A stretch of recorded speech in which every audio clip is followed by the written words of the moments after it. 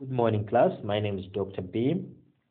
Uh, my contacts are there phone numbers, email addresses, WhatsApp numbers, and social media. Please forward your questions and anything else about this lecture to me. Um, I'm from the Department of Microbiology, and today I'm taking through I'm taking you through an electronic lecture session about viral diagnosis. Slide 1. Viral diagnosis has three main methods. One, direct examination.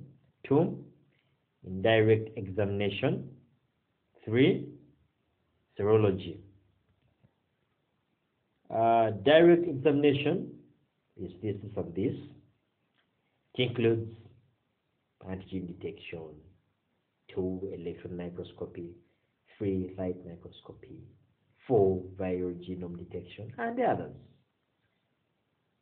Then direct examination comes in, serology, and the rest. Well, this is what is most essential about viral diagnosis as far as I'm concerned.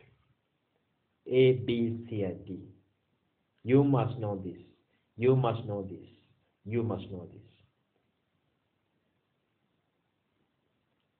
Um, this slide shows you images explaining cytopathic effects caused by viruses uh, that usually grow in cells. Notice the balloons in the image to the left and the balloons in the image on the right. Uh, thank you so much for listening. This electronic lecture session was prepared by a team from Must Campus News, and the video was produced by Kaja Dennis. Uh, participate in this lecture session through the comment section of the video. Thank you. Forward your questions and anything else about this lecture session in the comment section and everything We'll receive feedback.